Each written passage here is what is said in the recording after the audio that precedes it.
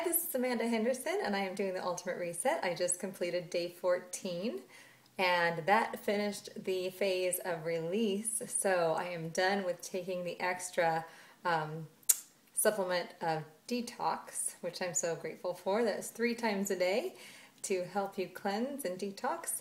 Um, also, I'm still taking um, a couple other supplements that are added for this new week of Restore. So that's coming up next on day 15. So after the two weeks and going through all the process, I have found that the best thing to do is to try and find a way to prep ahead of time or find things like carrots that are already cut up, which is a time saver for chopping, and to also invest in some good knives if you don't have them already to do your chopping with.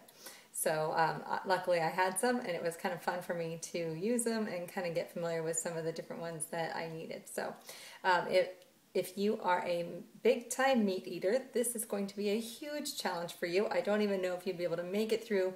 Um, so it, you really have to feel like you really want to do this. In order to get through the days because there isn't there's like two days of meat in the first couple of days and then that's it. So if you're a big time meat eater then this might not be the thing for you.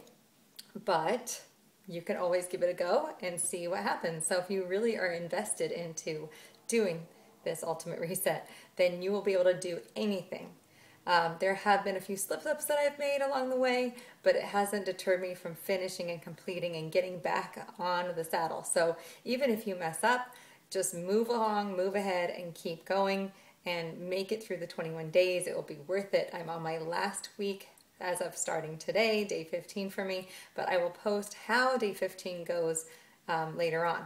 Now, for day 14, it was really good. Um, fruit for breakfast and I had the salad for lunch. And then the dinner was super good. It was um, uh, edamame, like succotash. There was uh, corn and there's um, red onion and there's, I think, um, red bell pepper. And it was really, really good. So, I mean, that it was all cooked and warm. It was really good. And then added um, an extra as well. So you just have to find those great recipes. I know I'm going to use that one again and continue on your path of trying to eat healthier. I know that I'm going to carry this through after my 21 days, and what they recommend for you to do after 21 days is to do it in the reverse.